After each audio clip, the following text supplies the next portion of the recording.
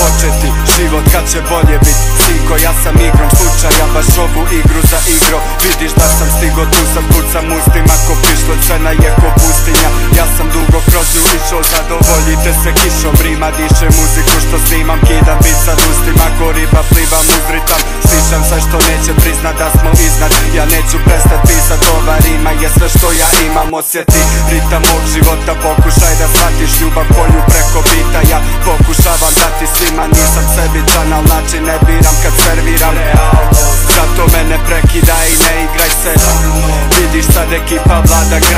Pitaš se zašto bato sve to postigli smo radom Dobro znaš to. Zato klimaj glavom sve dok čuješ ovaj naš flow U ovom si se našao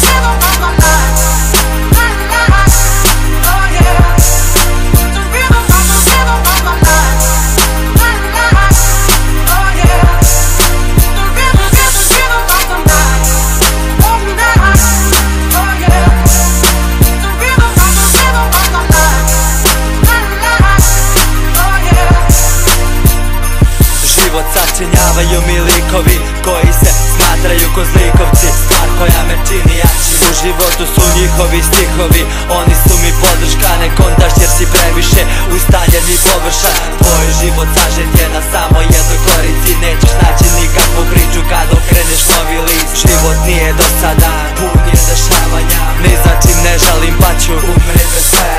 glume, pretvaranja, bez stajanja, bez spavanja, bez odmora. Radit ću dok sposoban sam za rad Do posljednjeg daha. Smajka basat line za line. Sve dok trava bude rasla ja sam ganđaman Sve dok slica ne bude vaša maska spala vam Umjesto šakama ću drakama šamarat vas.